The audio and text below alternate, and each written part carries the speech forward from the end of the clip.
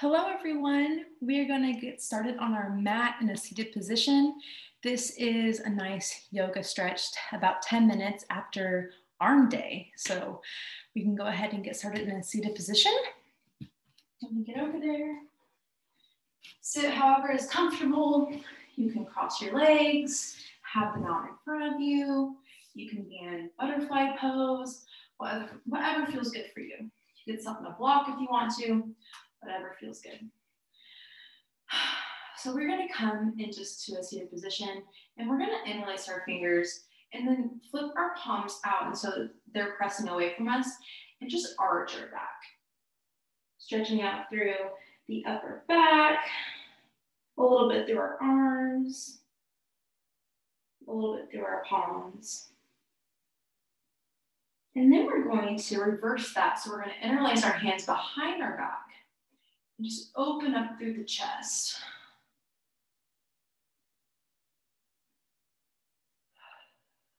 This one feels really good.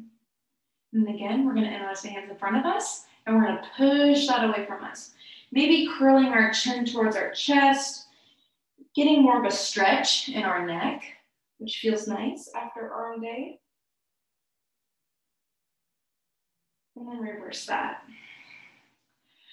I don't know. I feel like I always find myself tensing up through my neck whenever I'm doing my arm workouts, and it always feels good to do that after. One more time. Let's interlace in front of us and push our palms away. Do whatever you need in this moment. Take whatever you want, leave whatever you don't. And then we'll reverse that one last time, interlacing behind our backs. Mm-hmm. Opening up our chest towards the sky, like there's a light on our heart, shining up towards the sky or ceiling, wherever you're at.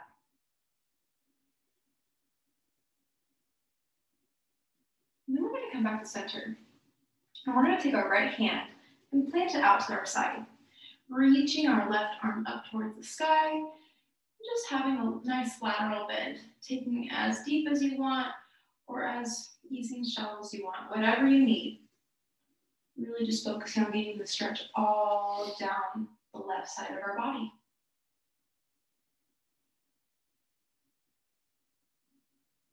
Breathing in here, we'll take about three to four breaths here. Seeking deeper in each, with each exhale. One more inhale. Exhale. Inhale, rise up to center. And we'll just take that on the other side, on the other side. So plant your left hand, reach that right arm up to the sky, bend towards that side. Now we're feeling the stretch in on our right side, the lateral side. You can either look up towards the sky or down towards your hand just out in front. You can take it down to your elbow like I am. You can let your, lift, your hip lift. If it lifts, that's fine. Two more breaths here. Inhale. Exhale. Inhale. Stay for the exhale. Inhale, rise back up. Shake it out a little bit. And then we're gonna bring our, our fingertips to our shoulders. And we're just gonna do some easy arm circles forward. Really just moving our shoulders, giving them some movement after we've been super stable with them for the past 45 minutes to an hour. And then we're gonna reverse that. So going back, yeah, nice. Don't forget to breathe like I just did. Hmm. Okay, come back to center. Bring your hands to your thighs. And then now we're gonna go into another arm stretch. So we're gonna bring our left ear towards our left shoulder. And then we're gonna bring our palm out, flexing our fingertips back towards our forearm And the lower you go, the less intense the stretch is, but the higher you bring your arm, the more intense the stretch is. This one is not very fun, but it does what it needs to do. And afterwards, you feel great. Again, listen to what your body needs. Taking it lower is totally okay.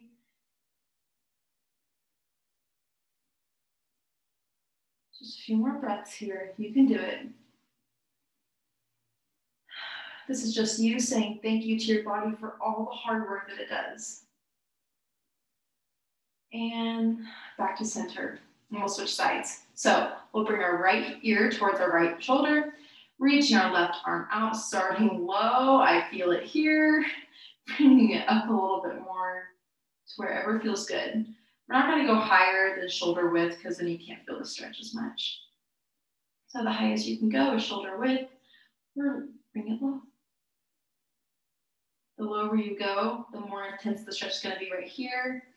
The higher you go, the more intense the stretch is going to be right here. Nice job, everyone. One more breath. Inhale. Stay for the exhale. And back to center. And now we're going to meet into a tabletop position. However you'd like to get there. Shoulders over wrists, hips over knees, finding stability here. And on your next inhale, go ahead and reach your right arm towards the sky, getting an easy twist here. And exhale, thread the needle. Bring that right arm to the, to the ground, your shoulder to the ground, your palms, your right palm is facing up towards the sky. And then if you want, go ahead and crawl that left arm forward. So we're in thread the needle pose, really focusing on the stretch in our, in our lats and our upper back on the right side. Just here for a few breaths. Take what you need, leave what you don't. If this doesn't feel good, go ahead and come out of it. If it doesn't feel good, go ahead and come out and just do an easy stretch like this. But if you're still in thread the needle pose, let's go ahead and bring that right or left arm underneath our left shoulder and peel back up the way we came and plant your hand again. Again, if that doesn't feel good, just go ahead and come into a nice easy pose right here. We'll just bring our forearms together. Feel that stretch right here. But if you like thread the needle as much as I do, we're gonna come back into it. So now reaching our left arm towards the sky, easy twist, and exhale, threading the needle, bringing that left shoulder towards the ground now, and reaching that right arm long. Saying thank you to our back for keeping us so stable all the time. And saying thank you to Sprenkel for always pushing us to lift harder and to lift more weight.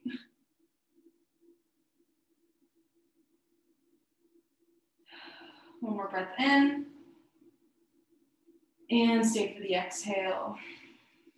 Plant that right arm back underneath the shoulder lift up, easy twist, and exhale.